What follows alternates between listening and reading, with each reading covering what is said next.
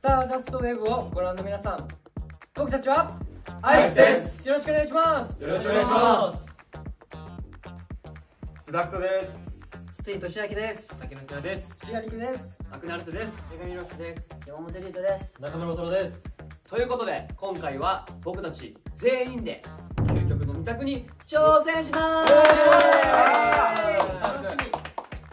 それではお願いしますえー、どっちの超能力が欲しい？えー未来を見る過去に戻る。未来っしょ先に何が起こるか分かるっていうのはちょっと面白くないんで。後で。同じです。わかります。過去に会いも戻りたいかもしれないです。数秒先ならいい。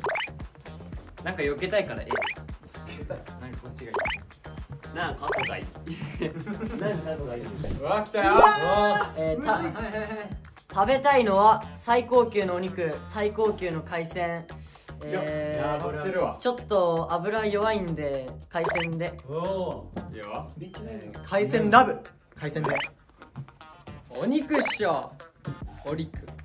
お肉。あいらの海鮮。めちゃくちゃ海鮮大好筋肉もりもり。お肉。え魚いうわ。お肉。が食べたいえーテスト勉強は毎日コツコツ一夜漬け。えー、っと一夜漬けでした。はいもうずっと一夜漬けでした。すいません。一夜漬け。毎日コツコツはできません。いいかどうべうん俺も一やつ一やつ僕あんまりやったことないです。は